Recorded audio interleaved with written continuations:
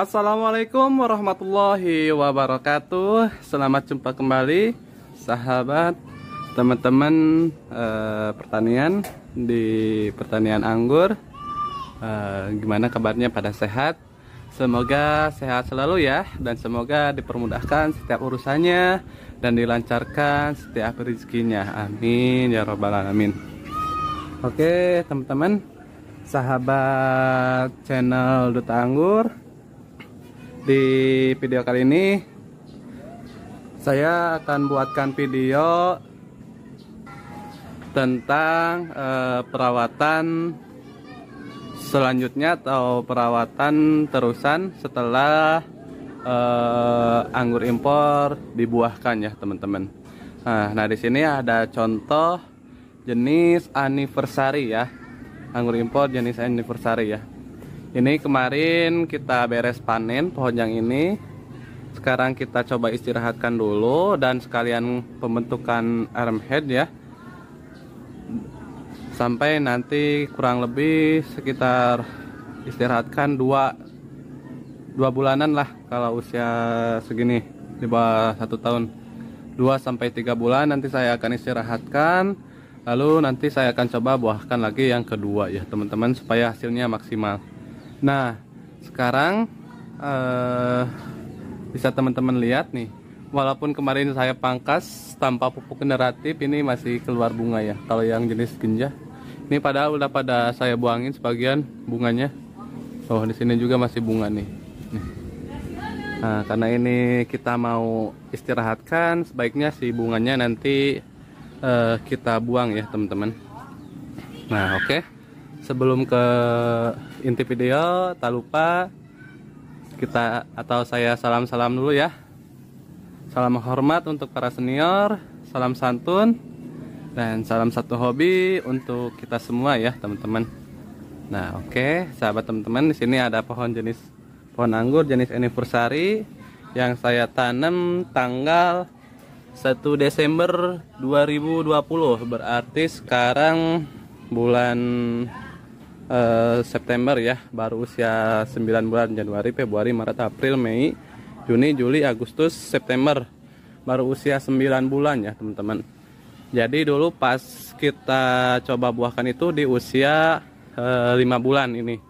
Ini di usia 5 bulan kemarin dengan batang segede jempolan lah ya. Nih segede gini.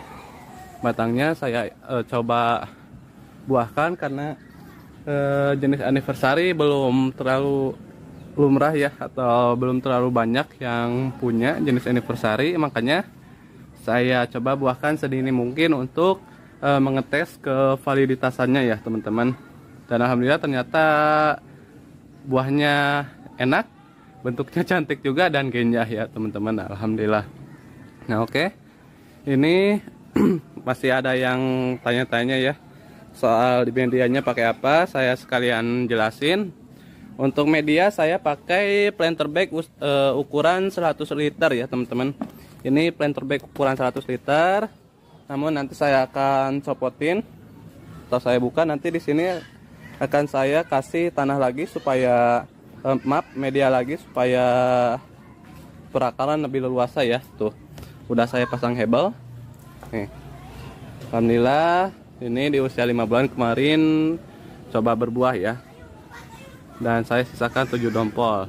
Nah setelah berbuah kemarin eh, setiap percabangan tersiernya saya pangkas di dua mata tunas ya. Dan sebelum membahas itu eh, masih ada yang bingung itu pakai tunas air atau bad. Semuanya ini pakai tunas air ya tuh. Ini bad utamanya di sini tuh. Kedempet nih nih ini saya potong rata dua mata tuna semua. Nih ini dua ini ada yang satu ada yang dua. Rata-rata saya potong satu uh, dua mata tunas ya teman-teman tuh. Ini dua. Nih. Ini dua ini juga dua. Nih. Nah oke. Okay. uh, eh, kenapa saya potong di dua matun karena sekalian bikin armhead atau batang abadi ya supaya nanti pangkas pembuahannya nggak terlalu panjang kita pangkas di sini aja nanti nih. Di sini pendek eh, lebih pendek ya pemangkasannya. Insya Allah bakal lebih gampang lah untuk perawatannya karena ini uh, jaraknya terlalu dekat juga ya memaksimalkan lahan. Jadi kita harus pakai sistem shot ya sebisa mungkin nanti untuk pembuahan selanjutnya itu harus kita pangkas di shot ya dipendek teman-teman. Nah seperti ini. Nah oke okay, semuanya ini pakai tunas air ya percabangannya. Jadi yang masih bingung yang anniversary di sini pakai tunas air ya. Kemarin pas pembuahan alhamdulillah buahnya juga maksimal. Nih. Nah salah satu contoh yang udah saya bikin armhead dan kemudian eh, sekarang sedang berbuah itu ada jenis trans. Nah yang di sana nah. Oke ini jenis trans. Tuh alhamdulillah pada sedang berbuah lagi. Oh banyak ya bunga-bunganya. Alhamdulillah gede-gede juga. Nih ini jenis trans. Tuh saya potong di dua mata tunas nih. Ini ini juga sama. Ini tuh harem head. Jadi nanti pemangkasannya bisa lebih pendek ya teman-teman. Oke uh, mungkin seperti itu untuk pembahasannya. Untuk percabangan tersiernya saya menggunakan tunas air ya.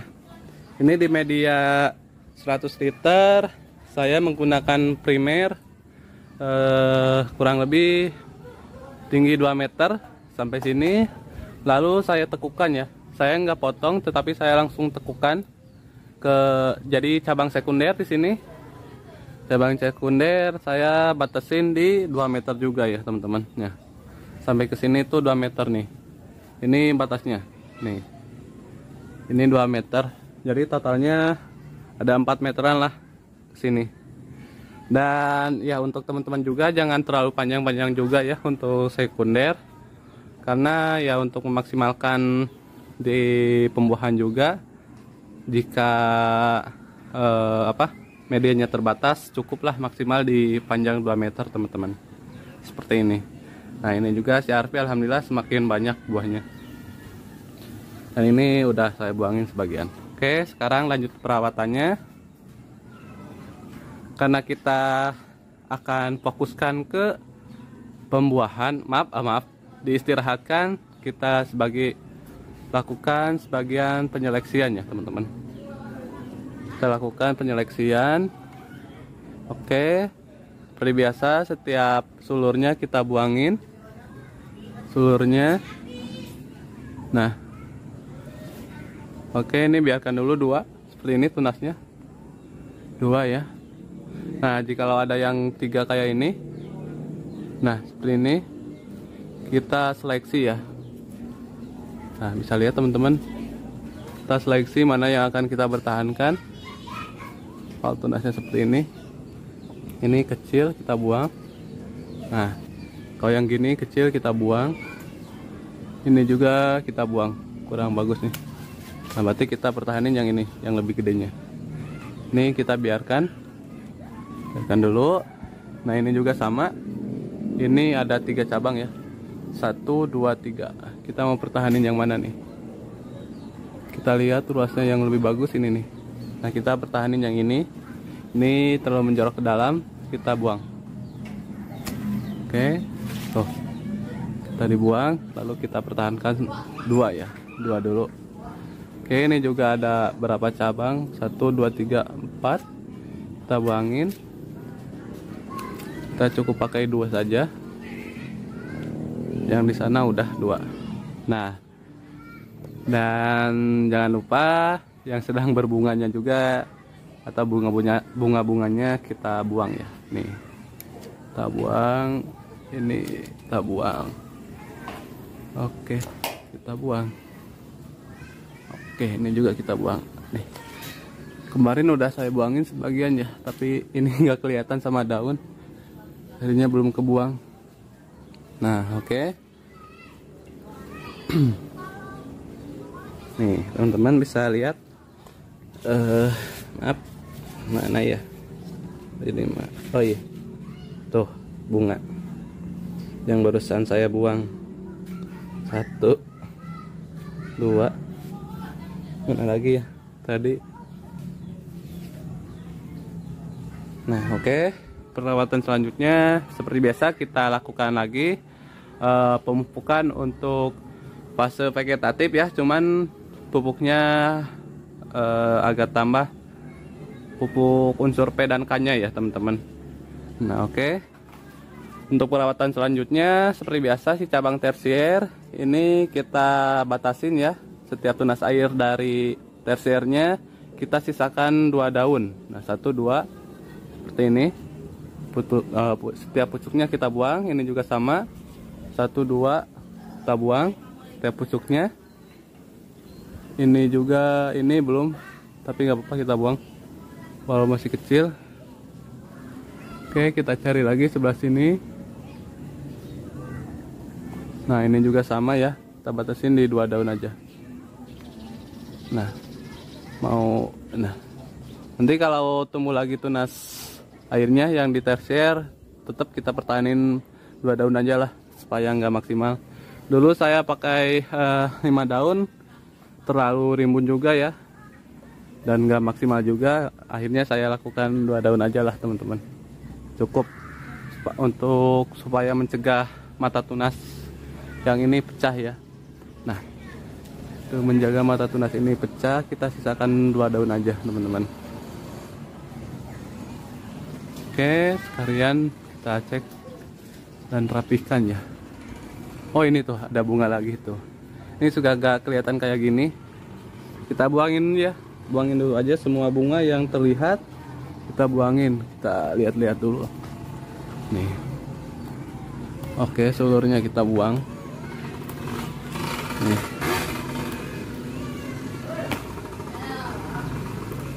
Oke. Hmm.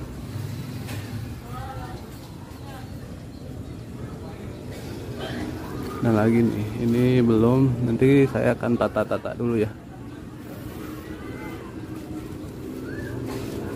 Nah oke, okay. mungkin teman-teman masih ada yang bingung. Nah oke okay, teman-teman, jika ada yang masih bingung kenapa ini saya sisakan dua seperti ini ya teman-teman. Nah dua tunas seperti ini. Uh, jadi nanti maksud saya supaya pas pembuahan uh, selanjutnya itu bisa kita uh, silih berganti ya. Yang buah selanjutnya misalkan mau yang dahan ini dulu. Nah yang dahan ini dulu. Nah, ini belum saya kurangin. Dua daun. Nah dahan ini dulu. Nanti kita pakas di sekitaran sini pendek sini. Yang ini kita biarkan dulu memanjang maksimal 10 daun ya. 1 2 3 4 5 6 7 8 9 10 nah 10 daun seperti ini teman-teman bisa langsung break ya. Nah yang ini kita biarkan dulu rawat untuk tersier pembuahan selanjutnya ya teman-teman. Kita biarkan dulu kalau ini kita biarkan 10 dulu aja lah teman-teman. Untuk ngebantu fotosintesis juga ya teman-teman. Nah kurang lebih seperti itu untuk perawatannya. Updatean untuk jenis anniversary. Jadi teman-teman jangan tega ya. Eh maaf harus tega. Jangan sayang-sayang walaupun sedang berbunga. Nah kayak seperti ini teman-teman harus berani melakukan pembuangan buah ya atau bunga. Tuh. Seperti ini supaya nanti hasilnya lebih maksimal. Contohnya seperti yang trans. Yang trans dulu ini pas pembuahan pertama cuman 5 dompol dan sekarang lebih dari 20 dompol nih yang trans yang ini tuh. Bunganya gede-gede oke teman-teman mungkin cukup sekian untuk video kali ini. Terima kasih banyak. Mohon maaf jika ada kekurangan saat menyampaikan. Assalamualaikum warahmatullahi wabarakatuh